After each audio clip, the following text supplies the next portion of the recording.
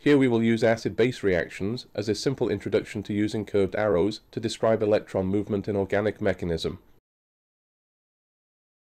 While we need to think of chemical reactions as interactions between atoms and molecules that are moving, dynamic processes like this are difficult to recreate on paper.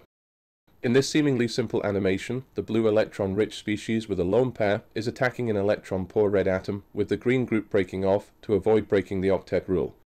While this is a very simple reaction, in the greater scheme of things, it is impossible to make even this brief animation in a short amount of time.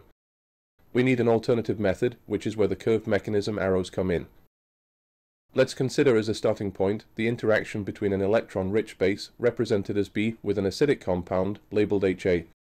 We need a method to describe their dynamic interaction that is easy to understand and that works quickly on paper.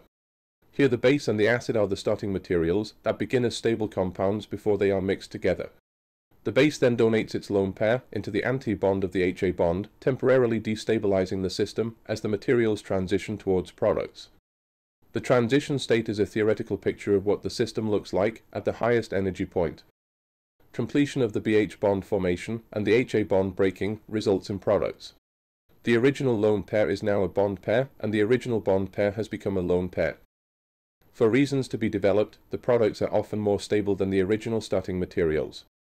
That is a very large amount of information that has to be transferred onto paper without creating an animation.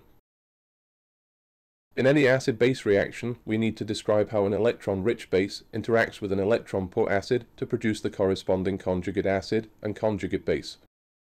We need to remember that orbital overlap is involved and that the non-bonding lone pair orbital from the base needs to overlap with the anti-bond of the HA bond to get the reaction going. Sir Robert Robinson came up with the curved arrow to describe these interactions. This is now the universal method for describing dynamic changes in organic reactions. These arrows are now a convention, like driving on the correct side of the road.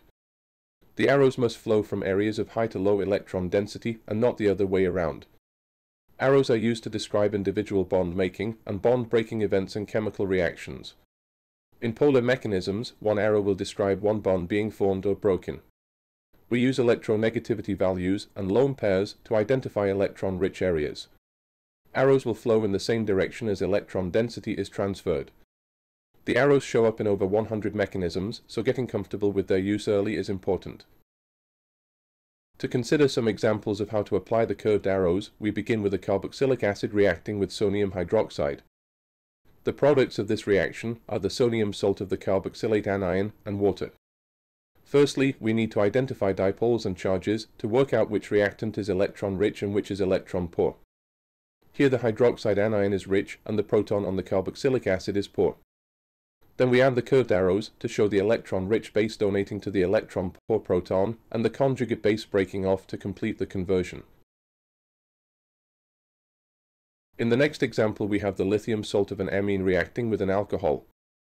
This results in a proton transfer to give the amine and the alkoxide salt.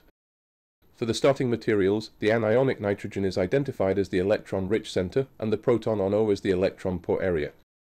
The bond-making curved arrow then begins at the electron-rich N and is pushed to the electron-poor H. The second bond-breaking arrow describes the electronegative O taking a pair of electrons to avoid breaking the octet rule and completing the process. In this third example, a terminal alkyne is treated with sodium amide.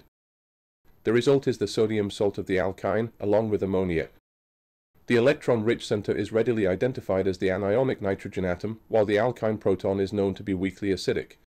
The bond-forming arrow, therefore, begins at nitrogen and goes towards the alkyne proton. The bond-breaking arrow shows the sp hybrid carbon picking up the electrons from the CH bond that breaks. Try to use the same process on each of these situations to work out what the products will be and how the curved arrows are applied to describe the reactions.